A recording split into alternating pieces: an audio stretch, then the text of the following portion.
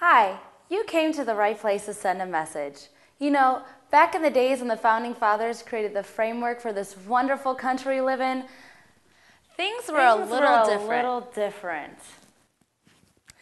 Times certainly have changed, but the basic principles upon which this country was founded have not. At least those principles were not supposed to change, but guess what, folks? They have, and not in a good way either. And we can thank our elected officials for our current state of affairs. Yes, that would be Congress.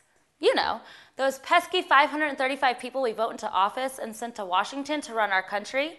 Those same people who raise our taxes, spend uncontrollably, can you say pork?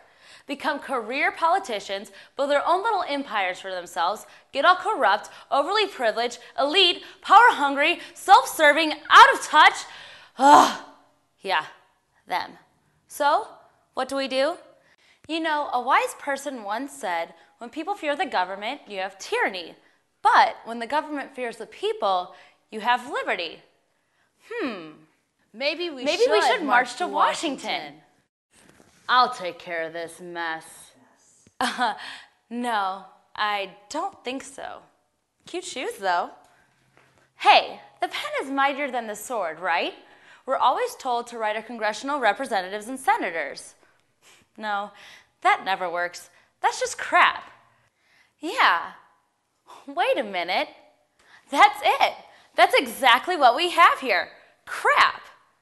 That's what we need to do. Send them back what they're giving us. Crap. This will get their attention. That is what this represents our current sentiment on how Congress is doing. So, why not send this steamy little pile to all the members of Congress that you think need a wake up call? It will go out in the mail with a letter detailing your dissatisfaction with Congress and business as usual in Washington. So, here's what you do look at the map on this homepage, click on the state where you live.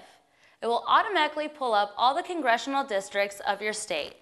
When you click on your district, an order page will come up with your senators and representatives' names listed, along with all members of Congress.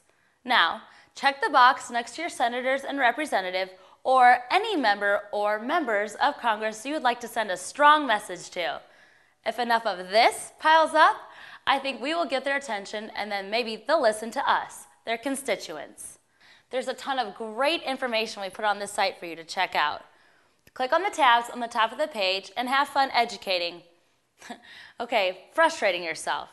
I think when you do, you'll want to send a truckload of this to Congress. Have fun, keep smiling, and send a steamy message.